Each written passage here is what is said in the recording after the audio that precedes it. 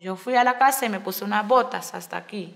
Puse botas y me puse una correa y me puse una peinilla aquí y cogí comida y para el monte con los niños. Tocó correr para el monte y ya el monte ya me metí, me escondí debajo de, de un poco de palos por allá. Y entonces él salió atrás de mí y me alcanzó. Y yo le dije, no, mono, usted tiene que correr para un lado y yo para el otro, porque si corremos juntos, nos matan a los dos juntos, si no hay quien cuente la historia que nos mató.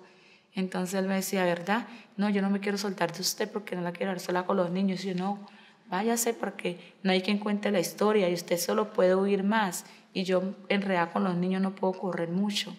Tiene que huir. Y él decía, no, yo no me quiero separar de usted. Claro, él estaba más asustado que mi persona.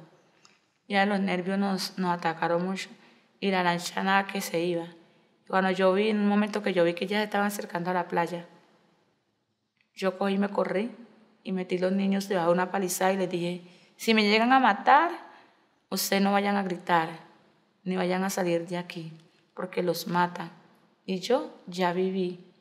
Y, y pues los padres, pues le dije que los padres no eran semilla, que algún día teníamos que morir. Estaban pequeñitos, estaban muy pequeños, no como seis añitos, el otro tenía el añito. Y pues tenía la barriga, en la barriguita tenía el otro. Entonces yo los dejé ahí solito a ellos dos. y dije, cuida a su hermanito. Cuando bajen los indios a hacer cambio de comida, entonces se van con ellos. Usted nunca, nunca en la vida se le vaya a olvidar eh, de qué pueblo es y cómo se llama la mamá y los abuelitos para que los busque. Entonces él decía que sí. Entonces cuando usted llega, usted le dice a un mayor, haga favor y me escribe en un cuaderno, eh, Paola, eh, Paola Peña, el nombre de mi mamá. Mi mamá se llama Elena Mosquera. Entonces, Elena Mosquera y Reinaldo Peña, esos son sus abuelitos. Y me escribe ahí el Valle Chocó, Valle Solano. Y entonces guarde ese papel para que usted sepa de dónde es. Y todos los días lo mete en la almohada, en la almohada donde usted duerme. Y ya yo me bajé a la quebrada y me metí debajo de... Entonces, una quebrada había caído un árbol. Yo me metí debajo del árbol. Yo puse una tabla debajo y me acosté encima de la tabla y montó unas ramas y ese día llegaron y recorrieron toda la isla y pasaba muchas veces por encima de mí, pero no me pisaba porque pisaban las ramas y no, no me vieron. Y al otro día todo el día y el compañero Verne subió a un árbol, era un árbol, y yo me metí todo y todo el mundo corrió, los otros que estaban, eh, habían como tres compañeros más, tres familias más también corrieron. Y llegó la noche y en la noche pasó un ejército de, de un ejército, pero no, no sé qué grupo era. Era un ejército hartísimo. Pasaron por la quebrada. Así. Y yo dije, Señor, hasta aquí me llegó mi vida. En ese momento, pues, yo lloraba mucho. Pensé que, y si no me mataron la noche anterior, hoy sí voy a morir.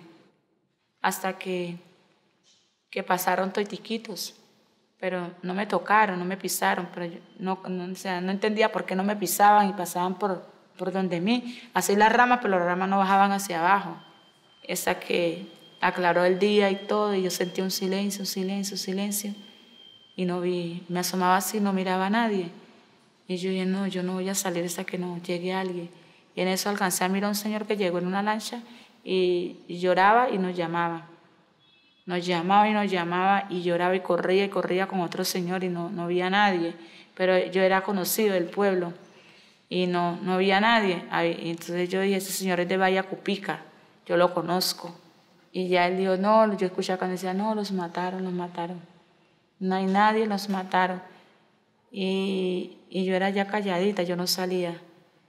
Nada que salía. Y en eso cuando salió el mono, el compañero, él salió y corrió y ya lo encontraron y él era pues muy nervioso, él no hablaba. Yo veía que le daban en la cara, le cacheteaban así, le echaban agua y él no, era todo colorado. Hasta que él me llamaba y todo, y yo dije, ¿qué tal que, que esa gente ha los ha cogido a ellos de quieto? para que ellos vengan a buscar a los otros, a la otra gente y después los maten a todos juntos como saben hacer. Yo no voy a salir de acá. Ya al rato vi, yo allá miraba que él habló y ya dijo, no, es que no iban a, entraron y no iban a matar. Entonces ya él habló, ¿y cómo? Sí. Entonces, Señor, yo vine por ustedes porque anoche hicieron una masacre eh, en la playa, en otra playa. Hicieron una masacre y los mataron a todos. A todos los de esa playa los mataron. Y pensamos que usted estaba muerto. Y entonces cuando yo ya lo vi al que, que ya en realidad no llegaba la tarde y pasaba el rato y no aparecía ningún grupo armado y no pasaba nada de peligro, entonces ahí yo salí y ya corrí a buscar mis niños y pues ellos estaban ahí también, donde yo los había dejado, no se habían corrido.